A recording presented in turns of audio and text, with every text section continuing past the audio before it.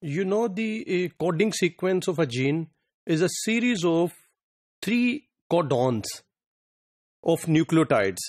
And these uh, series of codons, they specify the sequence of amino acids in its polypeptide product. So the sequence of a gene which is in the form of codons that is translated into the sequence of amino acids. It is generally assumed that the coding sequence is contiguous. That is, the codon for one amino acid is immediately adjacent to the codon for the next amino acid. And in this way, the amino uh, the codons of all the amino acids they are adjacent to each other without any space in between.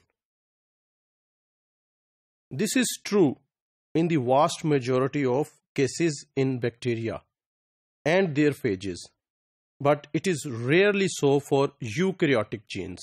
So, in prokaryotic uh, uh, organisms uh, such as bacteria and phages, uh, the sequence is uh, contiguous.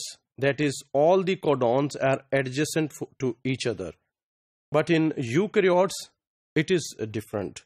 In those cases, the coding sequence is interrupted by stretches of non-coding sequences. So, uh, uh, the full sequence of uh, uh, gene that is interrupted by some non-coding sequences.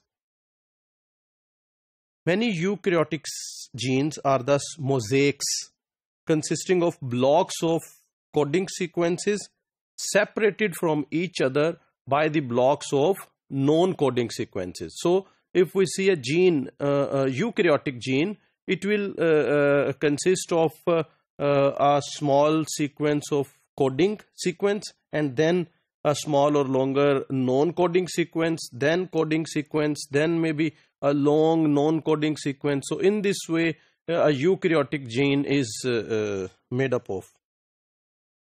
The coding sequences are called exons and the non-coding or intervening sequences are called introns. So a gene uh, is composed of exons and introns. Once transcribed into an RNA transcript, the introns must be removed and the exons must be joined together to create the correct mRNA of that gene. Means correct means the uh, uh, mRNA with correct amino acid sequence in the protein. So this is, uh, you can see the structure of eukaryotic gene. So in this gene, this is whole gene and this is a strand of DNA. After transcription, this is primary transcript or it is also called pre-mRNA. And you can see this contains this green portion, this is exon, and then this yellow portion, this is intron, then this is exon 2, then intron 2, then exon 3. So this uh, a small stretch contains different exons and introns. And after splicing, it becomes in this way and this long stretch is only composed of exons there is no intron and then this is transcribed in a protein. This is the structure of gene of eukaryotes. The number of introns found within a gene varies enormously from one in the case of most yeast genes and few human genes to 50 in the case of chicken pro alpha 2 collagen gene and to as many as 363 in the case of titin gene of humans. The sizes of the exon and introns, they also vary. Indeed, introns are very often much longer than the exons.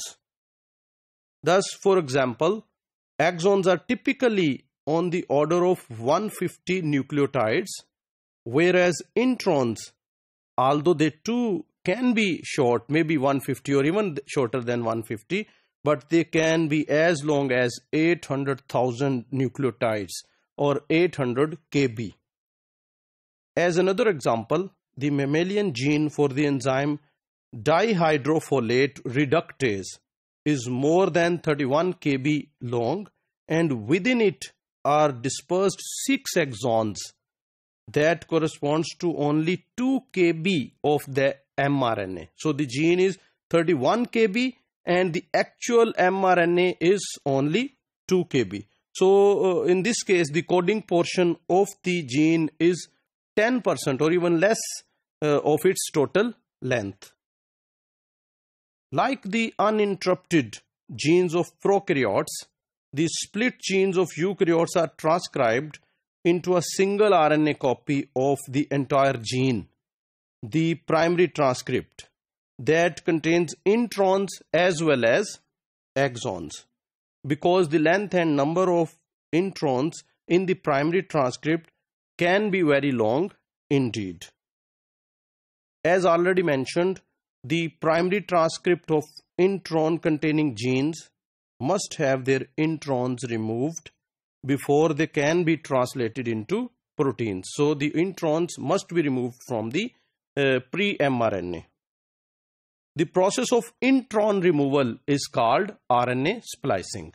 It converts the pre-mRNA into mature mRNA that only contains exons. RNA splicing must occur with great precision to avoid the loss or addition of even a single nucleotide at the sites at which two exons join. So uh, at this joining point, there must not be even loss of a single nucleotide. The triplet nucleotide codons of mRNA are translated in a fixed reading frame that is set by first codon. Why, why the uh, removal of even a single codon is that important? Because all the codons are set in a reading frame. And that frame starts from the first codon. And uh, if uh, the uh, uh, one nucleotide is missed at any point this will uh, disturb all the reading frame.